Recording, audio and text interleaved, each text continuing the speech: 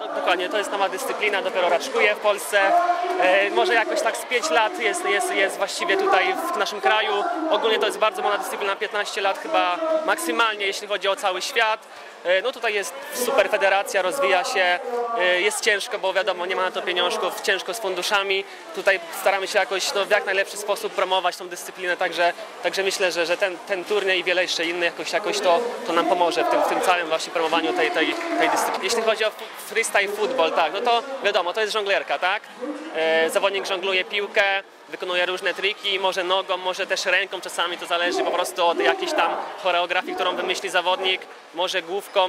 E, są te cztery kroki, e, no ale, ale myślę, że tutaj bardziej tak samo jak sama nazwa wskazuje, to jest freestyle, tak? To jest dowolność. Tutaj mo, może zawodnik sobie sam kreować jakąś tam, jak, jakieś figury, także tutaj cały czas zresztą powstają jakieś nowe tak, choreografie, zawodnicy wymyślają swoje jakieś tam no, kreacje, także no, do, dowolność jest, jest ogromna.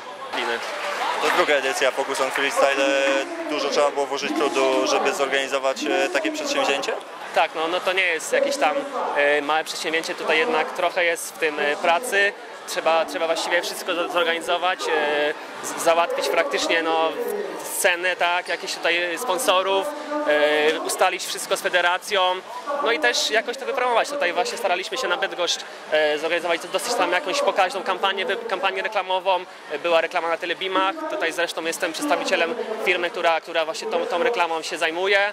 Była reklama właśnie w gazetach, także myślę, że tutaj e, dosyć było dużo tych prac, e, ale chyba wszystko dobrze wyszło, także, także myślę, że, że tutaj jakiś, e, jakiś dobry krok w, tym, w tą stronę poczyn, poczyniliśmy, także no jest dobrze. Chcemy tą dyscyplinę rozwijać, chcemy, żeby to była marka właściwie kojarzona z Bydgoszczą, żeby tutaj, no wiadomo było, żeby no jakoś tutaj rozwijać, bo wiadomo, no w nie ma jakoś takich imprez większych, tak?